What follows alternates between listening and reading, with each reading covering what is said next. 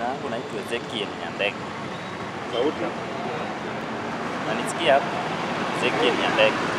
Sasa kwa maoni yangu, upande wa governors kupewa milioni kumi, nasema milioni kumi, hiyo itakuwa gharama kwa Wakenya kama sisi.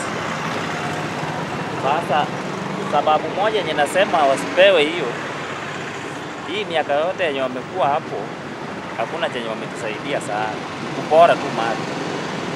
Sasa hakuna haja ya kupewa hiyo pesa. Hiyo ndio maoni yangu.